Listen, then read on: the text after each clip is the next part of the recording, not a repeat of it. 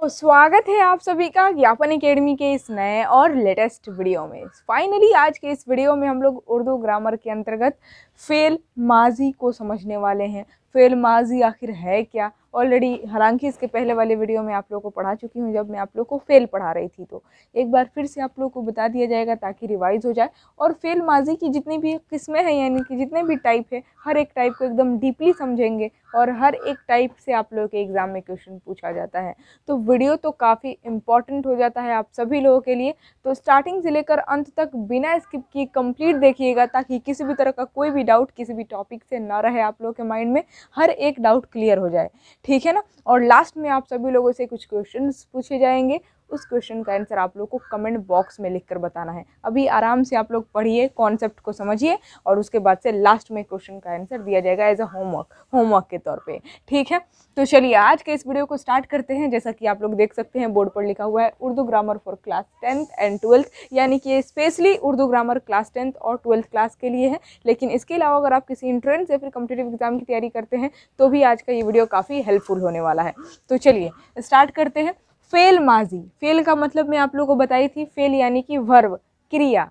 काम को ही क्या कहते हैं? फेल कहते हैं। और माजी मतलब पास्ट यानी कि जो पास्ट टेंस में काम हो चुका हो, यानी कि जो काम, जो क्रिया गुजरे हुए समय में, बीते हुए वक्त में हो चुकी हो, उस तरह के काम को कहते हैं फेल माजी। ठीक है ना? तो आई होप आप लोग को फेल माजी समझ में आ गया। अब फेल माजी की छः किस्में हैं, यानी कि छः टाइप है। पहला है माजी मुतलक यानी कि फ़ेल माजी मुतलक, दूसरा है फ़ेल माजी करीब, तीसरा है फ़ेल माजी बईद, चौथा है फ़ेल माजी इस्तेमरारी या फिर इसको नातमाम भी कहते हैं, फ़ेल माजी नातमाम, पांचवा है फ़ेल माजी शकिया या फिर फ़ेल माजी एहतमाली, और लास्ट में छठा है फ़ेल माजी तमन्नाई या फिर शर्तिया। ठीक है ना? तो ये फ़ेल माजी की छः किस्में हैं छः टाइप है। एक एक टाइप को हम लोग एकदम डीपली समझेंगे, क्योंकि आप लोग के एग्ज़ाम में क्वेश्चन पूछा जाता है। मस्ट इंपॉर्टेंट है ये छः का छः टाइप ठीक है? तो चलिए एक एक करके हम लोग समझते हैं एकदम डीपली। माजी मुतलक किसे कहते हैं? वह, यानी कि फेल माजी मुतलक किसे कहते हैं? स्टार्टिंग में आप लोग फेल लगा दीजिएगा, क्योंकि फेल माजी की ही ये छः टाइप है। इसी वजह से स्टार्टिंग में स्टार्टिंग में मैं आप लोगों को फेल माजी नहीं लगाई हूँ।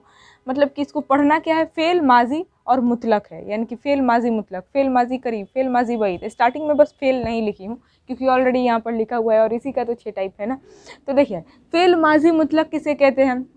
वैसा काम जिसका ख़त्म होना हमें पता ही ना चले कि वो कब ख़त्म हुआ है। यानी कि काम तो बीते हुए समय में ख़त्म हो चुका है, लेकिन पता ना चल, उस काम को ख़त्म हुए पता ना चले कि अभी ख़त्म हुआ है या फिर बहुत पहले ख़त्म हो चुका है।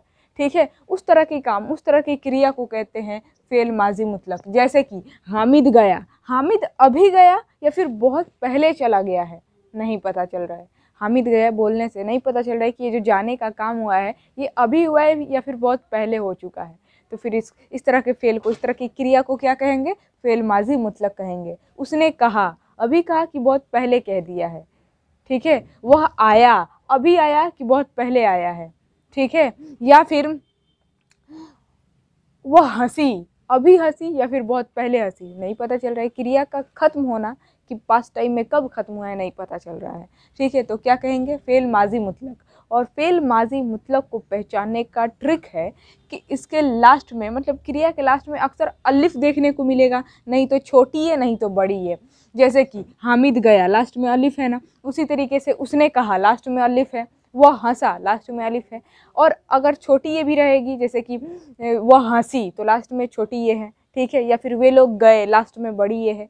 तो फेल माजी मुतलक को पहचानने का क्या ट्रिक है? कि क्रिया के लास्ट में या तो आप लोगों को अलिफ देखने को मिलेगा, नहीं तो छोटी है, नहीं तो बड़ी है। ठीक है, यही तीन देखने को मिलेगा। तो उस तरह के फेल को क्या कहेंगे? फेल माजी मुतलक। ठीक है, अब देखिए, दूसरा टाइप है फेल माजी करीब। नाम ही में है करीब, यानी कि जिस फेल जिस काम को ख़त्म हुए, ज़्यादा देर ना हुआ हो, वो काम अभी अभी ख़त्म हुआ हो। तो उस तरह के काम, उस तरह के फेल को क्या कहते हैं? फेल माजी करीब, यानी कि अभी वो करीब मतलब जस्ट ही ख़त्म हुआ हो काम।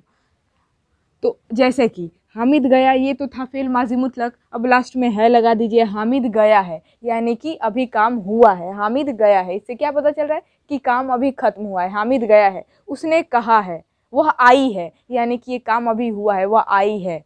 काम को ख़त्म हुए, ज़्यादा देर नहीं हुआ, वो आई है। ठीक है? तो इस तरह के फेल को क्या कहेंगे? फेल माजी करीब। तो फेल माजी करीब को पहचानने का ट्रिक है, एकदम आसान ट्रिक लास्ट में आप लोग को ये वाला है देखने को मिलेगा या फिर ये वाला है देखने को मिलेगा। ठीक है? जैसे कि हामिद गया, ये फेल माजी मुतलक था, अब इसके लास्ट में हामिद गया, के लास्ट में है सिर्फ़ लगा दीजिए तो हामिद गया है। ठीक है? यानी कि फेल माजी मुतलक के लास्ट में अगर आप लोगों को है या फिर हैं देखने को मिले तो उस तरह के फेल को क्या कहेंगे? फेल माजी करीब कहेंगे। हामिद गए लास्ट में है है तो क्या कहेंगे? फेल माजी करीब। अगर ये वाला है रहता कि वे लोग आए हैं तो ये वाला है लगता। तो फिर वो भी क्या कहलाता? फेल माजी करीब ही कहलाता। अब आगे बढ़ते हैं। तीसरा जो टाइप है, वो है फेल माजी बईद बईद बईद से ही आप लोगों को पता होना जाना चाहिए कि जिस काम को ख़त्म हुए बहुत देर हो चुकी हो। पास्ट टाइम में वो तो काम ख़त्म हुआ है, लेकिन उस काम को ख़त्म हुए बहुत देर हो चुकी हो। तो उस तरह की काम को कहते हैं, उस तरह की क्रिया को कहते हैं फेल माजी बईद, जैसे कि हामिद गया था। हामिद गया था। वह आई थी, वह हँसी थी, यानी कि ये जो काम हुआ था, ये बहुत पहले ख़त्म हो चुका है। ठीक है? तो इस तरह की क्रिया को क्या कहेंगे फेल माजी बईद? और पहचानने का ट्रिक क्या है कि लास्ट में था थे, थी देखने को मिलेगा आपको। जैसे कि हामिद गया फेल माजी मुतलक था और लास्ट में बस था लगा दीजिए। तो क्या हो गया? ये हो गया फेल माजी बईद तो याद रखिएगा, फेल माजी बईद को पहचानने का ट्रिक है कि फेल माजी मुतलक के लास्ट में बस था, थे या फिर थी रहेगा। तो उस तरह के क्या कहेंगे? फेल माजी बईद आगे बढ़ते हैं। चौथा टाइप है, फेल माजी इस्तमरारी या फिर फेल माजी ना तमाम भी कहते हैं। किसे कहते हैं? इससे पता चलता है कि पास्ट टाइम में कोई काम जो है ना लगातार जारी था। उस तरह के फेल को, उस तरह की क्रिया को, उस तरह के काम को कहते हैं फेल माजी इस्तमरारी। जैसे कि, हामिद जाता था। क्या पता चल रहा है कि पास्ट टाइम में ये काम लगातार होता था। जाने का काम लगातार होता था। वह जाता था। वह आती थी। ठीक है? वह हंसती थी। ठीक है? तो इससे क्या पता चल रहा है कि पास्ट टाइम में, गुजरे हुए वक्त में काम लगातार होता था। तो इस तरह के फेल को कहेंगे फेल माजी इस्तमरारी। ठीक है? और पहचानने का ट्रिक क्या है? बस माजी मुतलक के लास्ट में ताथा तिथि लगा दीजिए, जैसे कि ताथा, तिथि या फिर ते थे जिस भी फेल के लास्ट में आप लोग को ताथा, तिथि या फिर तेथे देखने को मिल जाए, उस तरह के फेल को क्या कहेंगे? फेल माजी इस्तेमरारी। आँख बंद करके टिक कीजिएगा। ठीक है? पांचवा टाइप है फेल माजी शकिया या फिर एहतमाली। नाम ही में है शकिया, यानी कि जिसमें शक पाया जाए। आप हंड्रेड परसेंट कन्फर्म ना हो कि वो काम हुआ है या फिर नहीं हुआ है। शक पाया जाए। तो उस तरह के काम, उस तरह की क्रिया को क्या कहते हैं? फेल माजी शकिया। जैसे कि हामिद गया होगा, आप कंफर्म नहीं है। शक पाया जा रहा है कि हामिद गया होगा, वह आई होगी। वे लोग बोले होंगे, वह थप्पड़ मारा होगा। ठीक है? यानी कि इस काम में शक पाया जा रहा है। तो इस तरह के काम को क्या कहेंगे? फेल माजी, शकिया। पहचानने का ट्रिक लास्ट में होगा, होगी या फिर होंगे दिखाई देगा आप लोगों को। फेल माजी के लास्ट में, फेल माजी मुतलक के लास्ट में बस होगा, होगी या फिर होंगे लगा देंगे तो वो बन जाएगा फेल माजी, शकिया। जैसे कि हामिद गया था और लास्ट में होगा लगा दिया गया तो हामिद गया होगा, बन गया फेल माजी, शकिया। वह आई होगी तो लास्ट में होगी। वे लोग थप्पड़ मारे होंगे तो लास्ट में क्या होंगे? तो फेल माजी शकिया पहचाने का ट्रिक आई होप आप लोग को समझ में आ गया होगा। आगे बढ़ते हैं लास्ट छठा टाइप है फेल माजी तमन्नाई या फिर शर्तिया। किसे कहते हैं? वह क्रिया जिसमें तमन्ना पाया जाए या फिर शर्त पाया जाए। नाम ही में है तमन्नाई या फिर शर्तिया। यानी कि जिसमें तमन्ना या फिर शर्त पाया जाए, उस तरह की क्रिया को कहते हैं फेल माजी तमन्नाई। ठीक है? जैसे कि हामिद वक्त पर जाता तो बस मिल जाता, मिल जाती सॉरी ती रहेगा, ठीक है? हामिद वक्त पर जाता तो बस मिल जाती, ठीक है? तो यहाँ पर क्या पता चल रहा है, हामिद वक्त पर जाता, यहाँ पर शर्त पाया जा रहा है कि अगर हामिद वक्त पर जाता तो उसकी बस नहीं छूटती, उसकी बस मिल जाती, ठीक है? तो ये है शर्त। या फिर अगर तमन्ना भी पाया जाए कि काश वह आता तो इसमें तमन्ना पाया जा रहा है कि काश वह आता। तो जिसमें तमन्ना पाया जाए या फिर शर्त पाया जाए तो उस तरह के फेल को कहेंगे फेल माजी तमन्नाई, ठीक है? और इसको पहचानने का ट्रिक क्या है कि लास्ट में ता, ते, ती रहेगा। जैसे कि हामिद वक्त पर जाता लास्ट में क्या है? ता। फेल माजी मुतलक के लास्ट में बस ता तेती अगर देखने को मिल जाए तो वो बन जाता है फेल माजी तमन्नाई, ठीक है? तो देखिए, हामिद वक्त पर जाता लास्ट में क्या है? ता। या फिर वे लोग समय, वे लोग वक्त पर पहुँचते तो ट्रेन नहीं छूटती तो लास्ट में क्या है? ते। काश वह बोली होती। ठीक है? तो इसमें तमन्ना पाया जा रहा है। ठीक है? काश वह बोली होती। ठीक है? काश वह गई होती। तो लास्ट में ती, ता तेती देखने को मिलेगा तो वो फेल माजी, तमन्नाई या फिर शर्तिया है। तो यहाँ पर हम लोग फेल माजी की छः के छः टाइप को समझ चुके हैं। आई होप आप लोग को हर एक टाइप एकदम अच्छे तरीके से समझ में आया होगा कमेंट बॉक्स में एक बार लिख कर बता दीजिएगा। और अगर बात करें क्वेश्चन किस तरह से पूछा जाता है तो वही पुराना तरीका है, कोई भी एक सेंटेंस दे देगा और कहेगा कि बताइए फेल माजी की ये कौन सी किस्म है? या फिर कहेगा कि फेल माजी करीब की मिसाल मंदर जजाइल में से कौन है? फेल माजी शकिया की मिसाल कौन है? इस तरह से तो बहुत कम पूछता है, लेकिन ये कोई भी एक सेंटेंस उठाकर और पूछता है कि बताइए फेल माजी की कौन सी किस्म है, ये ज़्यादा फ़ेमस क्वेश्चन पूछने का तरीका है, कोई भी एक सेंटेंस उठा लेगा। जैसे कि वे लोग गए हैं, बताइए ये फेल माजी की कौन सी किस्म है? ठीक है, ये क्वेश्चन पूछने का तरीका बहुत ही ज़्यादा फ़ेमस है। और नीचे चार ऑप्शन दिया रहेगा। ऑप्शन ए में दे देगा फेल माजी करीब बी में दे देगा फेल माजी बईद सी में दे देगा फेल माजी शकिया डी में दे देगा फेल माजी मुतलक, इस तरीके से।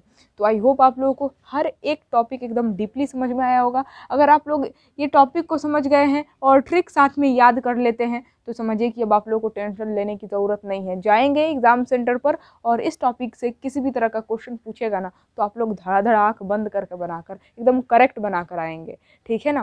तो एकदम आप लोग टेंशन फ्री रहिए अगर ये छः टॉपिक समझ चुके हैं तो। इस सभी टॉपिक से एक भी क्वेश्चन आप लोगों का छूटने वाला नहीं है।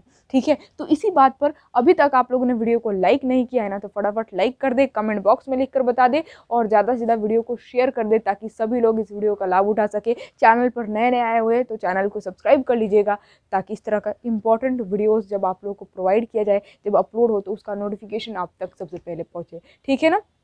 अब बात आती है होमवर्क की। अब मैं आप लोगों से कुछ क्वेश्चन पूछती हूँ और उसका आंसर आप लोगों को कमेंट बॉक्स में लिखकर बताना है और उसके बाद से मैं आप लोगों को स्क्रीनशॉट लेने का मौका दूँगी। ठीक है? तो समझिए, यहाँ पर आप लोगों का होमवर्क क्या है? क्वेश्चन देती हूँ मैं। फेल माजी मुतलक का दो एग्ज़ाम्पल आप लोग को कमेंट बॉक्स में लिख कर बताना है, ठीक है? अब वो, जो मैं यहाँ पर एग्ज़ाम्पल लिख दी हूँ, इसको छोड़कर आप अपने हिसाब से सोचिए कि फेल माजी मुतलक का कौन सा एग्ज़ाम्पल और हो सकता है, ठीक है? तो दो एग्ज़ाम्पल दो उदाहरण कमेंट बॉक्स में लिख कर बताना है। फेल माजी मुतलक दे, लिख देना है और डैश दे देना है और उसका दो एग्ज़ाम्पल ठीक है? उसी तरीके से फेल माजी करीब का दो एग्ज़ाम्पल ठीक है? और फेल माजी बैद का भी दो एग्ज़ाम्पल चलेगा। और फेल माजी इस्तमरारी इसका भी दो एग्ज़ाम्पल क्योंकि ज़्यादा टफ तो है नहीं। एग्ज़ाम्पल आप आसानी से सोच सकते हैं। ये तो बहुत आसान है, ठीक है? और उसी तरीके से फेल माजी शकिया का भी दो एग्ज़ाम्पल कमेंट बॉक्स में लिख कर बताना है। और लास्ट जो है ना फेल माजी तमन्नाई, इसका भी दो एग्ज़ाम्पल ठीक है? तो यहाँ पर हर एक टाइप का दो दो एग्ज़ाम्पल दो दो मिसाल आप लोग को कमेंट बॉक्स में लिख देना है। देखते हैं कि आप लोगों को ये टॉपिक समझ में आया है कि नहीं। और अगर समझ में आया है तो आप खुद से एग्ज़ाम्पल खुद से उदाहरण सोच पा रहे हैं कि नहीं। ठीक है? तो कमेंट बॉक्स में आप लोग लिखकर ज़रूर बताइएगा, जिसका सही आंसर होगा, उसको हमारे तरफ़ से मिलेगा हर्ट ठीक है? तो चलिए, आज की इस वीडियो को हम लोग यहीं पर एंड करते हैं। अगर आप लोग यहाँ तक स्क्रीन लेना चाहते हैं तो कोई दिक्कत नहीं है, ले लीजिए फटाफट स्क्रीन शॉट तो इसी के साथ मैं आप सभी लोगों से विदा लेती हूँ। आई होप आप लोगों ने वीडियो को लाइक शेयर ज़रूर कर दिया होगा। चैनल पर नए नए आए होंगे तो चैनल को सब्सक्राइब कर लिए होंगे। बस जुड़े रहे ज्ञापन अकेडमी के इस प्लेटफॉर्म के साथ। आप लोग की तैयारी एकदम ज़बरदस्त तरीके से, धुआंधार तरीके से कराई जाएगी। बस आप लोग पूरे लगन और मगन के साथ मेहनत करते रहिए, ठीक है? बाकी आप लोग का सिलेबस कंप्लीट कराना, आप लोग को हंड्रेड प्रिपेयर कराना कि आप टॉप ऑफ़ द बेस्ट बने, इसकी ज़िम्मेदारी हमारी है। बस आप लोग को विश्वास के साथ जुड़े रहना है। उर्दू में आप लोग को हंड्रेड आउट ऑफ़ हंड्रेड दिलाने की मैं गारंटी रखती हूँ।